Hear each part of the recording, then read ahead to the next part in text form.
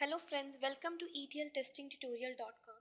Today we are going to start with the topic as what are reports and how reporting works, when do we need reports.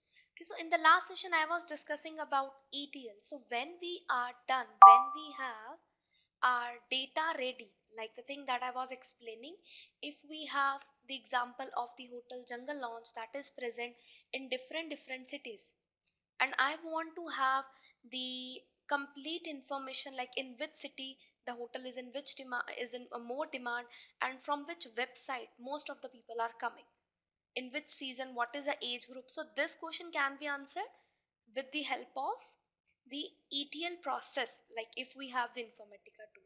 Now the thing is see if we are able to get the data warehouse this is the data warehouse where the data will be stored.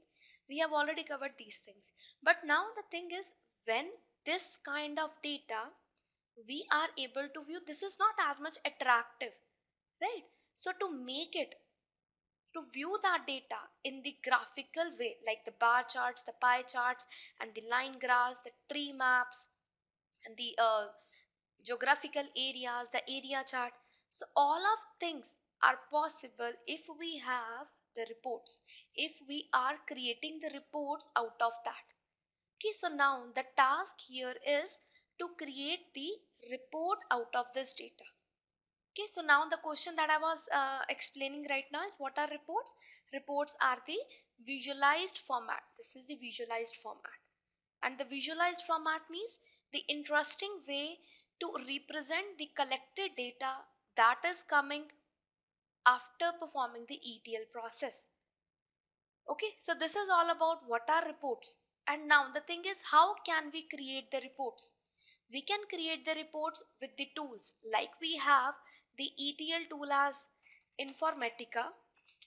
The same way we have some of the reporting tools that we'll use and like within etl we have informatica ssis SAS, the thing that i was explaining which tool is in most demand informatica is having the uh, most of the jobs right in the same way the tool that we'll cover is uh, will be used a lot now the thing is how can we like in which format this output will come like i am able to create the graphical graphically i'll able to view now the thing is it will come in which format like in which uh, type of file that I'll get after creating the report. That surely completely depends on the tool that you are using to create the reports. Okay.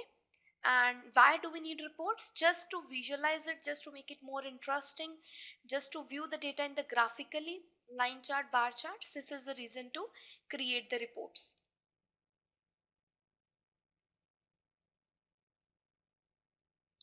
and the reports will help us to do the analysis on the collected data so what is the meaning of analysis like see if i have i'm i'm, I'm able to create the table that in which in, in delhi city in the month of june we have the uh, maximum people that are coming from india Bix in the uh, in that hotel.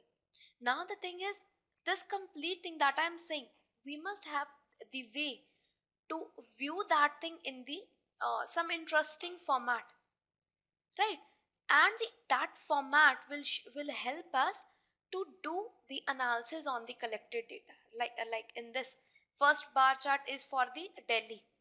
Like in delhi we have the uh, the people in the most demand in in which month in which year or of which age groups from which website. Right? This is for delhi let's say this is for pune. This is for mumbai. Right? So uh, uh, the reason to create the reports like why reports is just for the analysis purpose and to make it some interest to give it a interesting format this is the reason for that